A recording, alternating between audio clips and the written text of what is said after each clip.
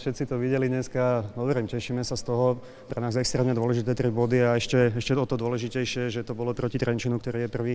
Takže nás to všetkých veľmi teší a teraz, teraz sa teším na oddych. Ďakujeme každému, ktorý došiel, aj keď áno, už, už to počasie nie je také teplé, jak bývalo, je, je väčšia zima, ale cez to všetko si sa našli tú cestu a prišli nás podporiť, čiže za to, za to veľké ďakujem. Pre teba to teda nebol len gól, ale aj prvý na novom tehalnom poli, takže si to aj z tohto pohľadu precítilo to viacej? Určite áno, ja som to spomínal, že je to v podstate prvý gol, odkedy som došiel v lige, keď som sa vrátil 2019 a, a o, to, o to lepší pocit, že doma na domácom ihrisku pred domácimi fanúšikmi, čiže bol, bol to naozaj úžasný pocit. Z tohto pohľadu aj tebe možno viac vyhovuje takéto rozostavenie, že si predsa len o niečo viac v tej ofenzíve?